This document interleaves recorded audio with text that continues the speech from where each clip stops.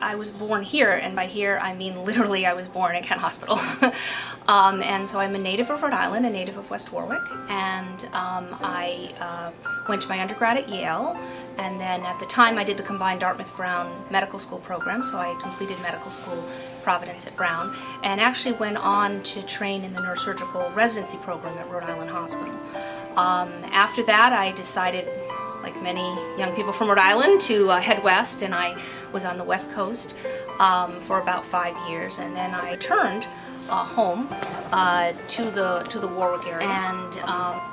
establish a practice uh, here in Warwick. Um, I'm uh, based out of uh, Kent Hospital,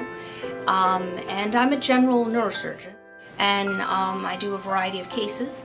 um, brain tumors like Luce Collier, and then a lot of work, um, of course, with patients with uh, spine conditions. And that would be,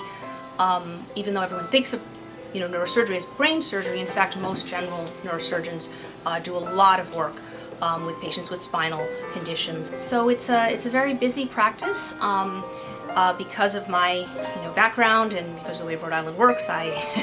you know I see a lot of people in my office where I went to high school with them, or they're my third cousin, or you know it's kind of a nice feature um, to feel really connected to the community. And I, I just remember when I when I moved back, um, my high school English teacher, who is now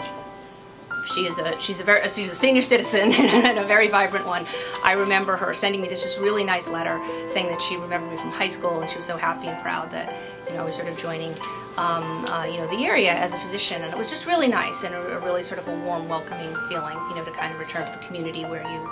Uh, where you grew up and, and where I had so many mentors. Personally, um, I have uh, two uh, young children, um, uh, three, so child who's almost three and a a daughter and another daughter who's going to be nine in July, so I have a very busy uh, family life, a lot of support from my family.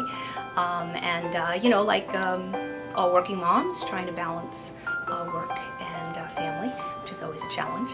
Um, and I have, uh, you know, many colleagues, um, uh, obviously who are women as well, both in surgical and non-surgical areas. And, um, you know, that's another um, advantage and a positive thing from when I started training where there were